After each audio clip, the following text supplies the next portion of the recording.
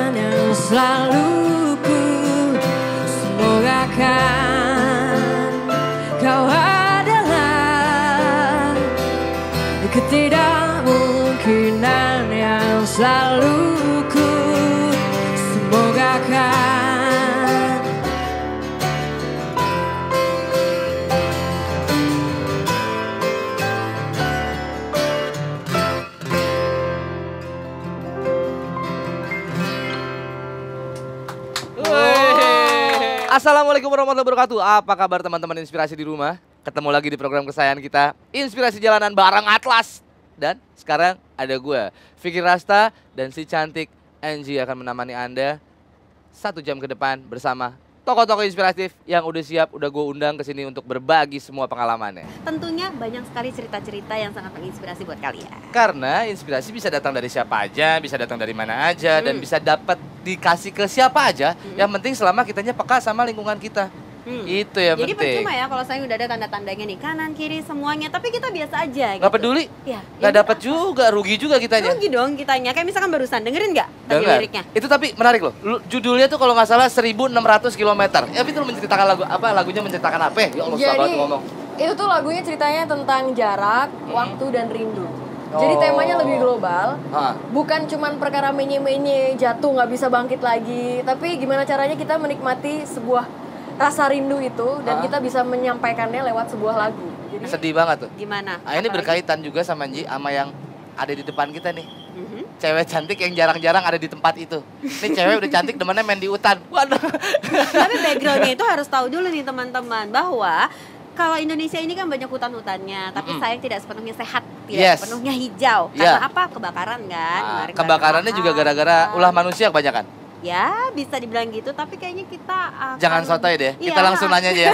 Mari aja kita ya tepuk tangan gitu. bersama di 2019 awal. Episode di 2019 ini Intan. Apa namanya lu panjangnya? Syafrini. Syafrini. Intan Eh, Syafrini. Jarang loh ada orang bisa nyebutin nama Intan gue. Syafrini alias Intan Sapri. Gue suka ketuker.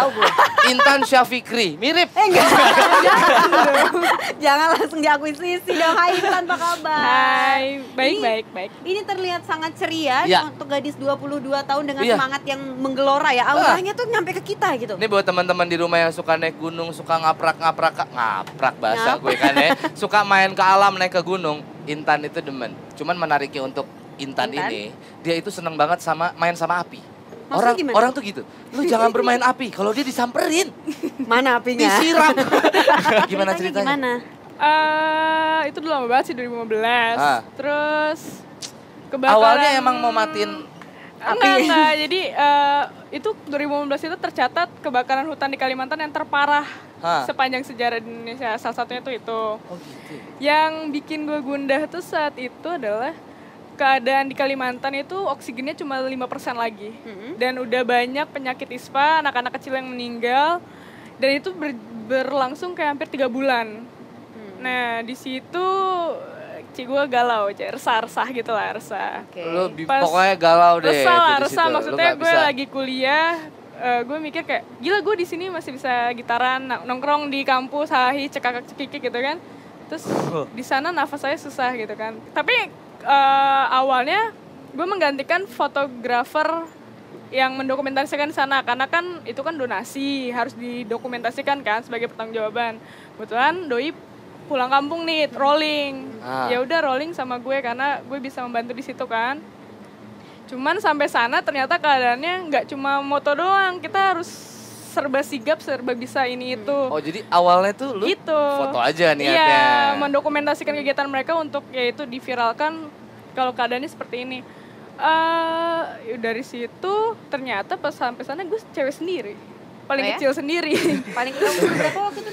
18 ya, 18, 18 tahun, berarti iya, masih kuliah 19 baru ya? masih kuliah banget. Terus Oke. kayak lah gue zong banget nih gue sendirian kan ceweknya. Cuman ya udahlah, udah Ya, sampai yang ada sini. di pikiran lu begitu santai. sampai ke sana ternyata di luar ekspektasi lu apa tuh?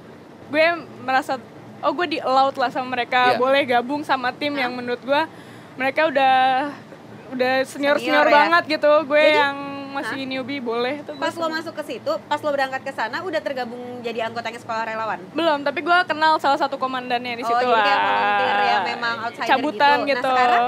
sekarang alhamdulillah diakuin sama mereka dan Tapi ya, gini, lu cewek, terus lu juga ikut matiin api di sana ya kalau nggak salah ya? Ada pembekalan dong berarti ya. Ada, ada, Karena ada, sampai tetap. sekarang yang aku tahu kamu kan aktif ya di berbagai kegiatan turun ke lapangan untuk Hmm. membantu yang daerah-daerah terkena terdampak Ah. bencana. Hmm. Yang terakhir apa tadi? Selat Sunda Selat Sunda. baru tadi malam pulang Baru tadi malam. Baru tadi malam pulang. Oke, kejadiannya Kemarin gimana malam. di sana yang kamu lihat seperti apa? eh agak beda sih sama Lombok. Hmm, sama oke. Lombok sama Palu maksudnya ternyata susah mendapatkan pengungsian karena karakteristiknya di Banten ternyata mereka saling guyup. Misalnya lihat di Lombok sama di Palu kan pakai tenda, terpal gitu segala macam. Kok ini enggak Jadi mereka kelihatan matanya normal-normal aja karena Iya. ada di dalam rumah warga yang Iya, lainnya. kalau- Kalau kita datang ke tempat eh, bencana dengan kondisi kita masih ada di tim evakuasi atau tim relawan, artinya kemungkinan ada bencana lain itu ada, Hmm. iya dong. Iya. Itu itu lebih dari 50% Ji biasanya.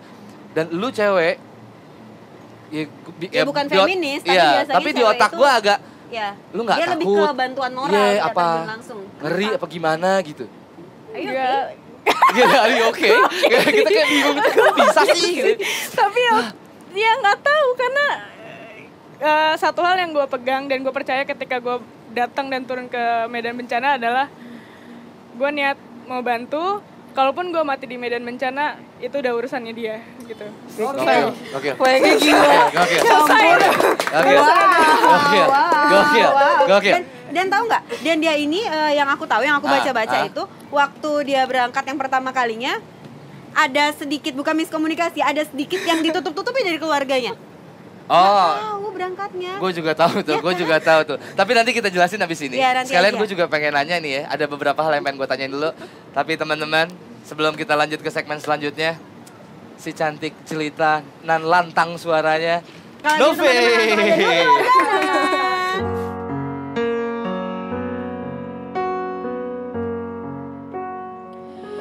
Tanah air ku tidak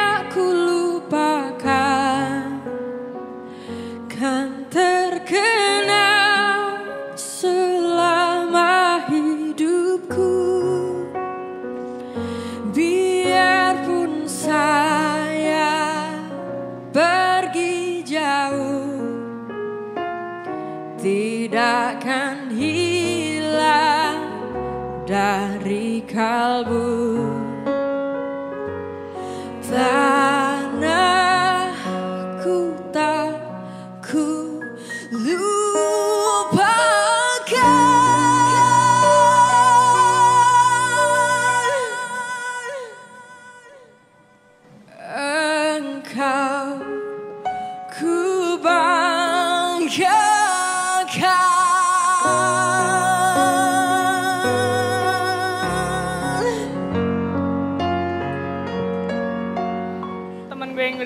nelfon oke bisa berangkat. Besok. Oke. Wah, besok jam 5 subuh. Oke fix. Ya udah kita kabur aja dulu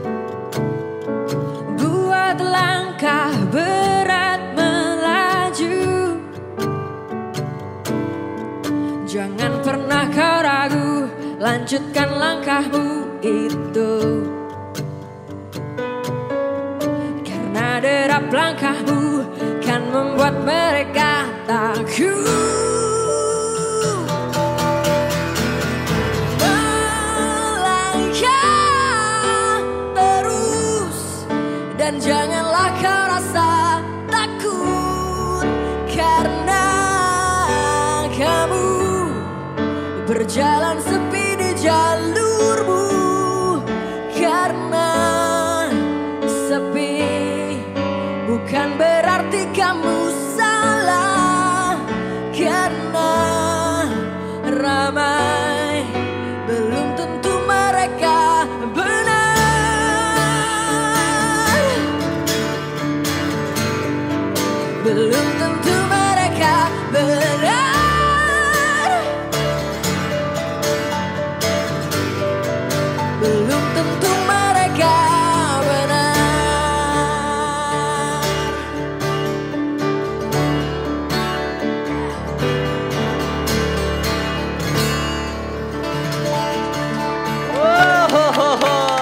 Novi Wardana, suaranya merdu, main gitarnya juga enak. Anyway, teman-teman inspiratif yang ada di rumah, balik lagi di Inspirasi Jalanan bareng Atlas sama gue Vicky Rasta dan juga. NGR. Dan tentu dua inspirasi kita nih, dua orang yang menginspirasi Yes, kita.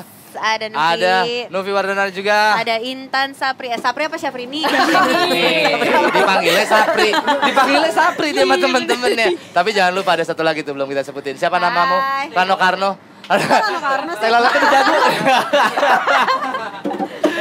eh, tapi ya ini tuh gue mau nanya. Tadi gue di brief sama kreatif, disuruh ngapalin yang tadi tuh ya. Itu tuh sebenarnya apa kaitannya dengan lagu melangkah ini? Karena sebenarnya kalau aku pengennya kebaikan itu kan universal. Ya. Jadi harus bisa dilihat sama orang buta dan didengar Ya. sama orang tuli. Oke, berarti kalau gue rangkum gini, kebaikan bukan nggak selalu cuman bisa dilihat, karena kebaikan pasti bisa dirasain. Masuk. Asik. Fikri Luar biasa. Iya, Rata. ngapalinnya dua minggu. Iya, balik lagi sama lo. Sekarang gue tadi pertanyaan terakhirmu apa? Tadi enggak, denger-denger nih mau Ah. klarifikasi Mau ya klarifikasi. katanya. Karena jiwa sosialnya sangat tinggi. Sampai Saking tingginya, saking tingginya ada dia tuh memutar cara gimana caranya agar bisa berangkat karena mungkin takut nggak dibolehin gitu Nah sama itu, itu keluarganya. coba kita klarifikasi. Lu pergi nggak izin atau dilarang akhirnya lu kabur? Atau ada alasan yang lain? Karena akhirnya kabur. Bisa jadi loh. karena gue kan tim pergi dulu baru minta maaf ya Oh, Oh, anak minta maaf baru iya. minta, Dia daripada minta minta, izin. Iya, iya, iya, iya. Jadi- Jangan ditiru teman-teman ya. Eh, itu eh, memang udah lo rencanain dari lama atau gimana? Atau jangan-jangan kuliah lo keganggu ya? Enggak, jadi tuh s- oke nih panjang. Ya, ya, gimana? Ini agak coba. suddenly. Udah minta izin, nggak boleh karena memang basically-nya gue punya penyakit pernafasan. Oke, Turunan asma. asma, tapi bukan asma ya, semacam itu. Iya. Iya kan nggak boleh dong sebagai orang tua khawatir lah segala macam. Cuman gue udah kayak gila masa nggak boleh sih gitu loh. Terus udah Ah. gitu eh, pas mau UTS eh, teman gue yang udah di sana tuh nelfon. Oke bisa berangkat besok. Oke. Wah, besok jam 5 subuh. Udah tuh kan eh, ini nomor teleponnya lu fix nggak berangkat tanpa gue mikir dua kali kayak oke fix.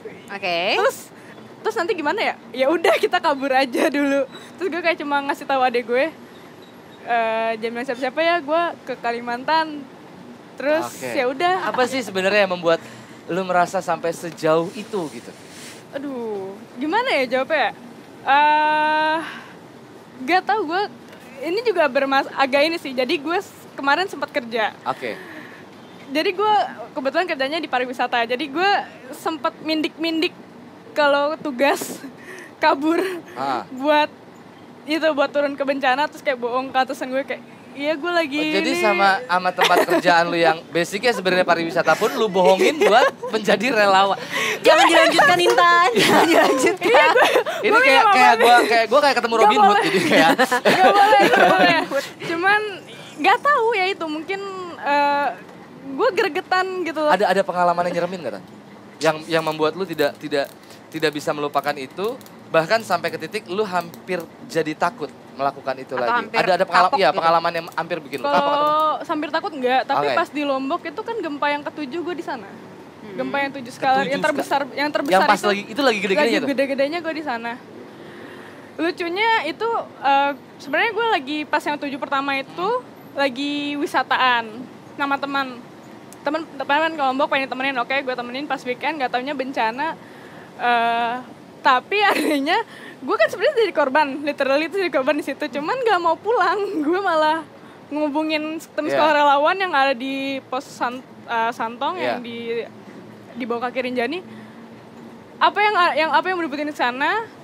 Terus keadaan gimana? Di sana mereka coba bilang gue butuh eh, untuk luka-luka karena di sini udah banyak kaki yang patah yang segala macam nggak ada medis dan segala macam gak mikir dua kali gue langsung berangkat dan gue kabur langsung ke Luar atas. Tapi kan aku mau tanya deh. Jadi aku kan dulu aku tinggal di Jogja kan. Oh, iya. Pernah ada Oh, gempa iya. yang banget itu. Ya kan itu tahun berapa ya Jogja? 2006. Itu aku lihat videonya tuh jalan sampai kayak karpet gitu ya. Uh, tapi emang Oh, di sana? serem. Iya, aku di situ masih kelas 3 SD. Iya. Nah, dan itu takut banget rasanya. Iya, kamu sekarang delapan jalan ya. Kamu sekarang delapan jalan ya. Iya, ya. Oke. Terus terus tuh Mbak Jadi, ceritanya. eh, aku mau waktu itu kan nggak ngerti apa-apa ya. Maksudnya orang tua juga nggak ada secara langsung mengedukasi kalau ada bencana kamu begini-begini ya.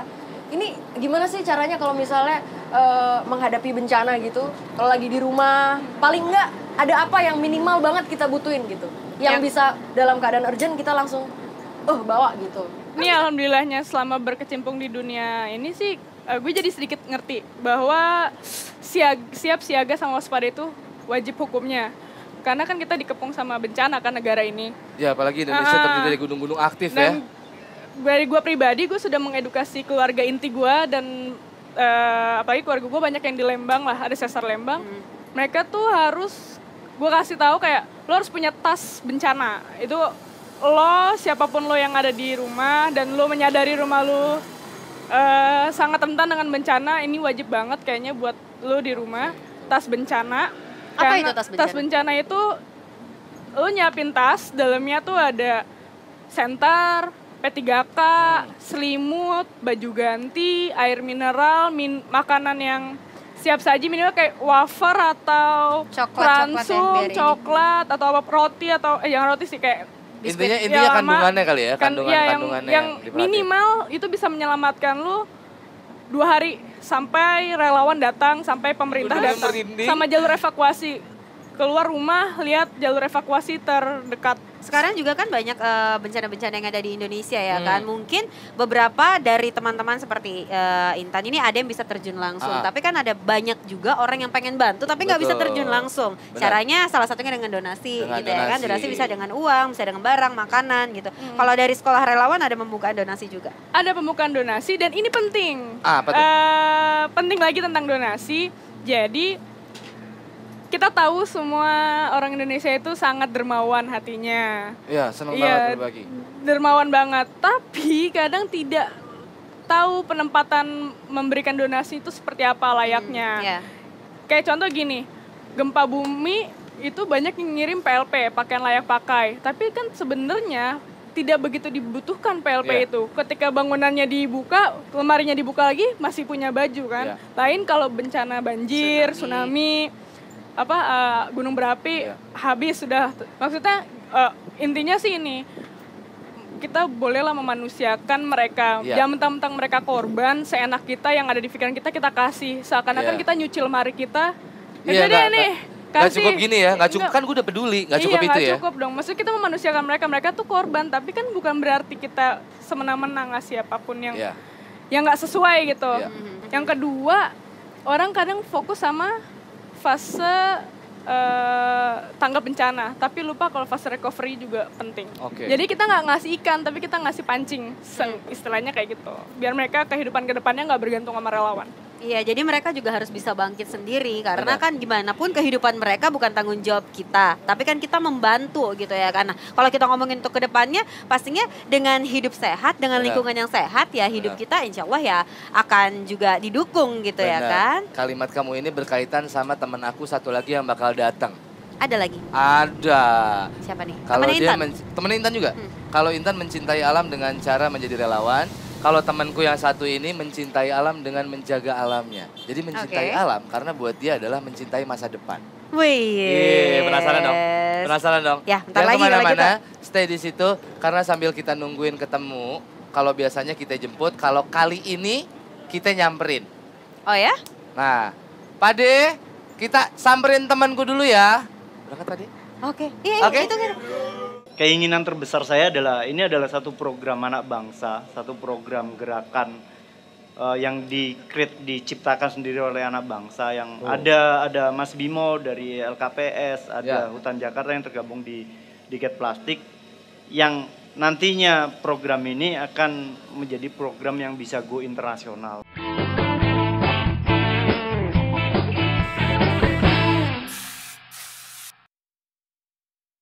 Yuk, yuk, yuk, yuk, yuk, yuk, yuk, yuk. Ya. Gue kenalin sama temen gue yang luar biasa ini. Lu semua pasti pada suka nih. Come on. yang ini nih teman-teman di rumah. Satu teman gue lagi yang sangat menginspiratif dan mencintai alam dengan caranya yang unik. Ya. Assalamualaikum. Waalaikumsalam. Apa kabar Mas Bro? Sehat Mas Dim? Sehat. Kenalin, ini Hai, Dimas Mas. temen gue. Anji. Wah, Halo. panas Oke, nih. ini Intan, Dimas. Novi, Dimas. Tebo. Lumayan. Tapi ini Tebonya manusia ya. ah, Gitan, Vi, Bo ya. Ini Mas Dimas. Sama juga di belakang gua ada teman-teman dari GSX Community Nusantara. Apa kabar? Dari jauh udah kelihatan rame-rame. Nanti aku mau ngobrol sama mereka. Boleh, boleh, boleh. Tapi Tapi, nanti- sebelum sebelum kita ngobrol ke sana, Ya. aku mau nanya sama sampean dulu, Mas. Ini tuh apa? Tadi tak pikir sampean lagi jual cuanki. Panas loh. iya, ada gitu ada. Ini apa ini apa nih? Eh, ini alat eh, pirolisis Ya. eh, untuk mengolah sampah plastik menjadi bahan bakar minyak. Mengolah Sampah plastik menjadi bahan bakar sampah minyak. plastik. Jadi bahan bakar. bahan- Iya. Ini bahan bakarnya. bukan. Oh, bukan. Bahan bakarnya akan keluar di sini nanti. Aku pengen tahu ini prosesnya seperti apa, Mas? Si sampahnya dipanasin tadi, Iya.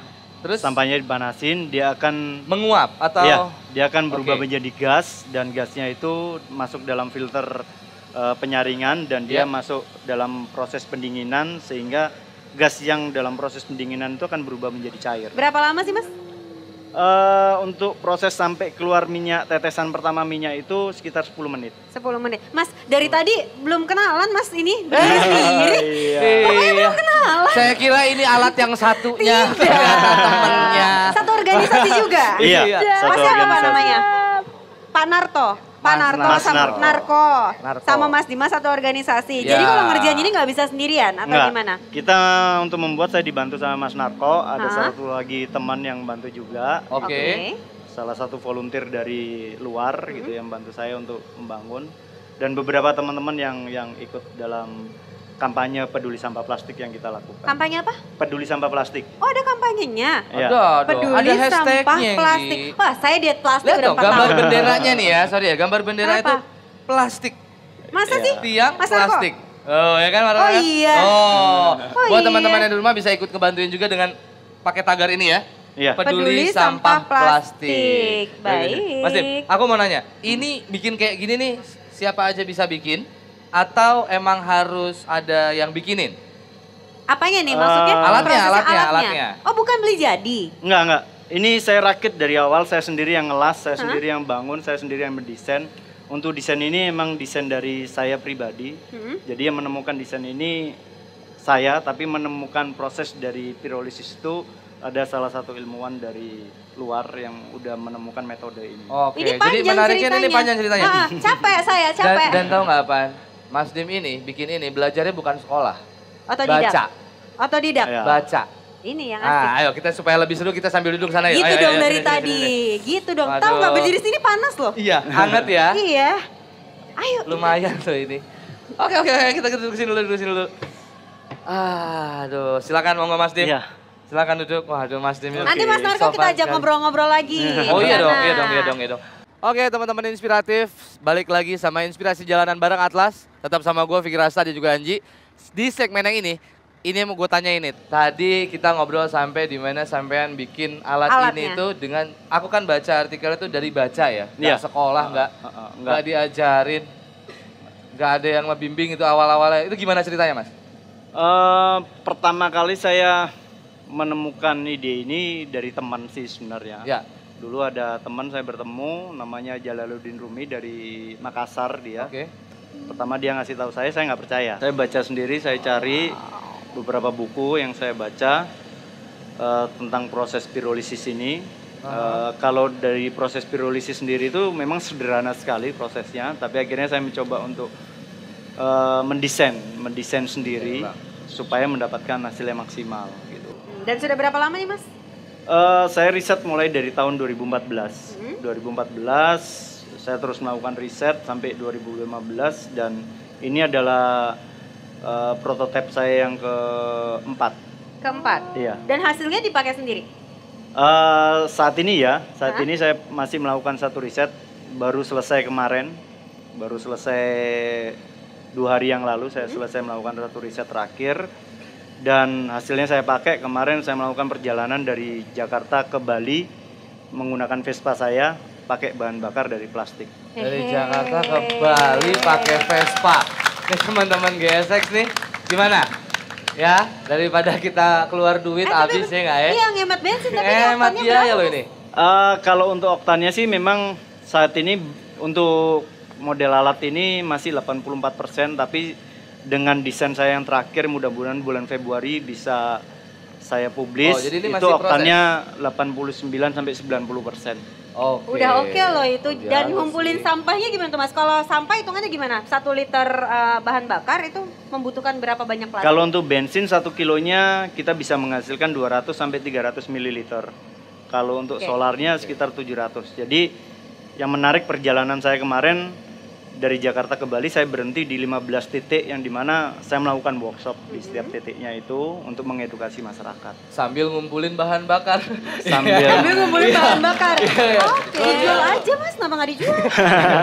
Iya kan? Di, di apa ya? Dikomersilkan gitu, masa kan bisa Ada nggak? Nah, Iya, ada nggak iya, tujuan bisa akan buat dikomersilkan? Atau- atau lapangan pekerjaan.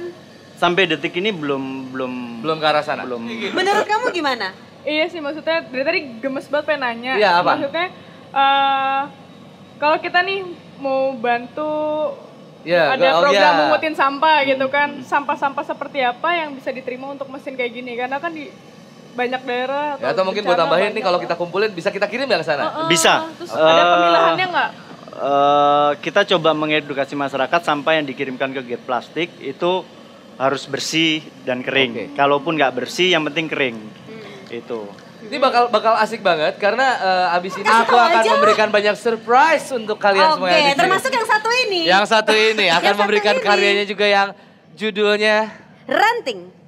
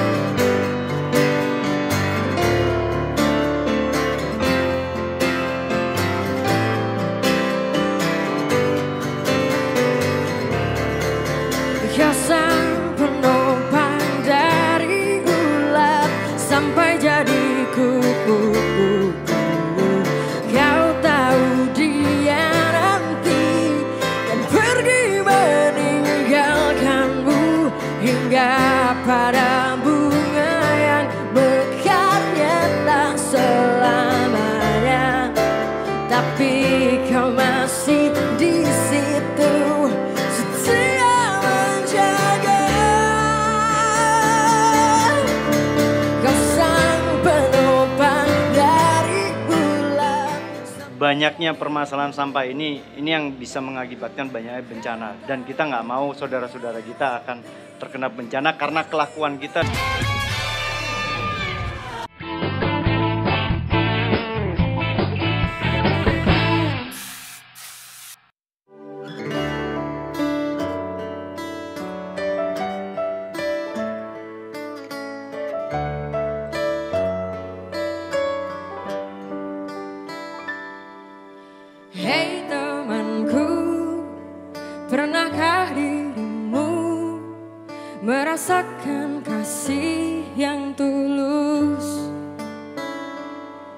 Karena diriku tak mau lihat dirimu rasakan sakit yang berlarut.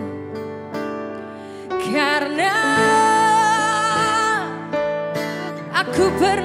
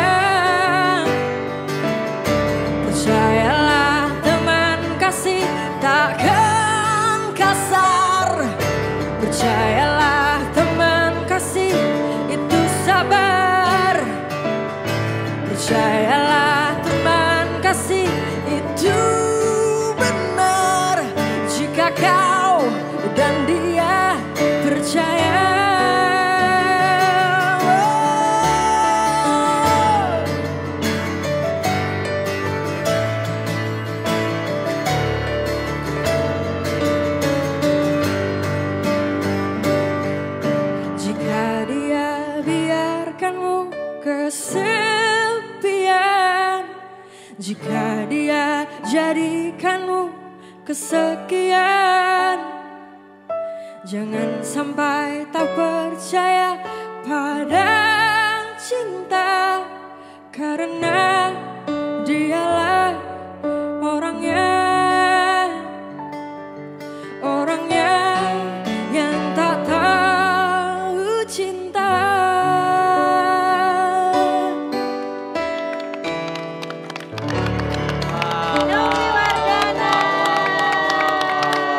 Oke teman-teman inspiratif, balik lagi sama inspirasi jalanan bareng Atlas. Tetap sama gue Fikri Rasta dan juga Anji. Di segmen yang ini, ini yang mau gue tanya ini tentang kalau kalau niat goals yang dari sama dari Mas Dimas per- pribadi gitu dari hatinya, gue gue sih goalsnya gue pengen ini sebenarnya dengan tujuan gue bikin alat ini tuh sebenarnya untuk ini apa gitu ininya tuh apa? Goalsnya adalah alat saya ini udah nggak berfungsi lagi karena ketika alat saya nggak berfungsi berarti kita udah nggak punya sampah plastik. Wis. Ya udah gantian. Ada surprise kan? Oh gitu. Emang lo doang, gue Oh, juga. Oke. Sama teman-teman JSX siapa Boleh, ya? boleh, boleh, boleh, boleh. Yang paling depan ya? Iya dong. Tepuk tangannya dong buat temennya. Eh, Mas, Kan Mas. rame. Mas senyumnya biasa aja senyumnya. Senyum dulu, say hi dulu, mana Disamperin kamera kita? Anggi senyumnya sumringah. Mas siapa ini? Pegang dong. Eh, saya Sandi. Mas Sandi, Ah. mumpung Mas mumpung, biar hemat bahan bakar. Kenapa Mas nggak tanya-tanya langsung sama Mas Dimas? Mana tahu bisa kolaborasi sama JXS Community ya nggak? Silahkan.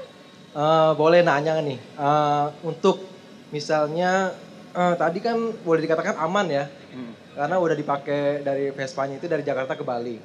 Kalau untuk hematnya itu gimana? Misalkan eh, satu liter per pertamak itu kan 10.200.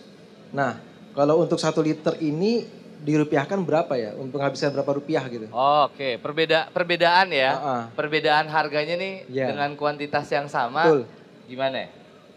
Eh, sebenarnya kalau untuk eh, satu liter dari bahan baku ini soalnya kita bahan bakunya plastik kan nggak beli.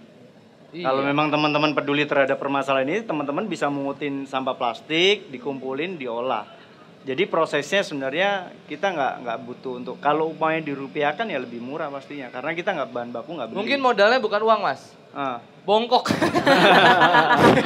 Ngambilin Iya, sampah. modal. di, Iya. di Bali di Bali ada satu komunitas eh, motor custom juga klub klub komunitas namanya Noken As mereka sangat-sangat peduli terhadap lingkungan akhirnya mereka membuat satu alat dari kita juga dan kita dampingin kita buat alatnya di tempat mereka jadi mereka bisa melihat proses dari pembuatan dan akhirnya alat itu disumbangkan kepada salah satu bank sampah di Bali dan mereka sangat eh, support banget untuk bersih-bersih habis itu sampahnya dikumpulkan dan diberikan kepada bank sampah untuk diolah menjadi bahan bakar minyak. Oh ya? jadi Dan jadi secara uji pakai? coba juga udah banyak dong ya? Iya. Yang nyobain ya, nggak Oh. cuma Vespa Mas Dim doang. Eh, ada mesin generator generator untuk listrik itu kita pakaikan di salah satunya di Bogor di Desa Cibuntu. Kemarin kita sumbang satu alat dan desa itu tidak ada listrik sama sekali selama 73 tahun. Kita Oke. akan berkolaborasi dengan Terima kasih Mas Dimas, Mas Andi cukup nggak? Terjawab ya? Oke, nanti habis Mas- ini Mas Haji, eh. Mas siapa namanya? Sandi. Mas Andi ngeliatin angkinya santai aja. Ya. Iya. Tersanjung loh Pandangan saya. matanya penuh harapan Mas ya. Boleh mas rumah saya dekat sini boleh dibonceng habisnya ada helm ya ada ya makasih banyak mas Andi Mas, makasih teman-teman kasih. Jackson Community Luar biasa. Kalau lu sendiri menanggapi hal seperti ini harapan lu dari semua teman-teman gimana Tan? gue sebagai relawan sih gue berharap banget tahun ini menjadi tahun ayo kita melek bencana. Maksudnya kita nggak bisa marah sama Tuhan. Ya siapa gitu dengan bencana. Tapi kita bisa bersahabat lah. Maksudnya kita udah tahu diri kalau bangsa ini dikepung sama berbagai macam bencana. Makanya mitigasi bencana terus eh, pengetahuan tentang tanggap bencana, sigap dan siaga di daerahnya masing-masing itu udah harus dicanangkan. Bagi ya anak-anak kecil seharusnya lebih lebih aware lagi gitu. Ya 2019 lebih melek bencana lah. Entah pemerintahnya, entah masyarakatnya, siapa pun itu kita ayo deh tahun Dari ini. sendiri ya. Dari Tahun ini, sendiri, tahun ini oke. kita udah harus siap menghadapi segala bencana karena tahun kemarin udah cukup pelajaran, udah cukup korban. Tahun depan kita harus lebih aware lagi. Sebelum kita pulang semuanya, satu Mas Dim kalau sampean biye, apa yang ingin disampaikan?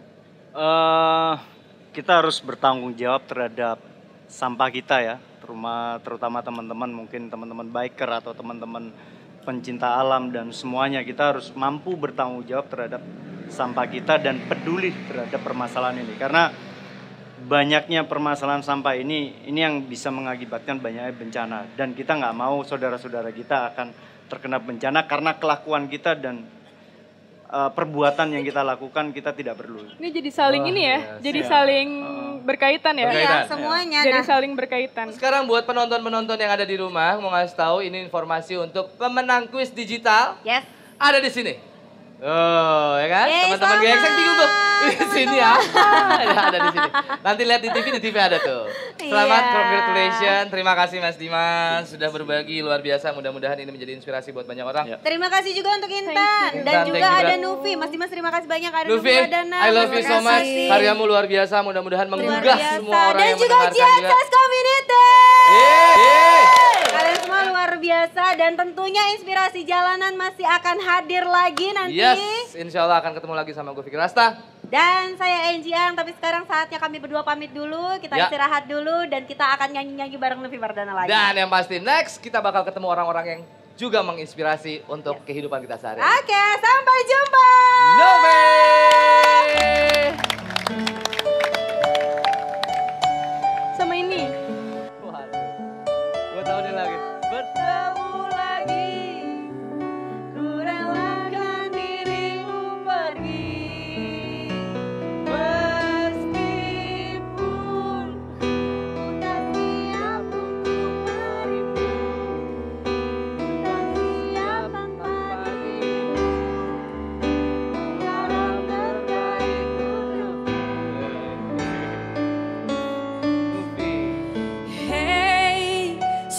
Sampai jumpa di lain hari untuk kita bertemu lagi. Ku relakan dirimu pergi, meskipun ku tak siap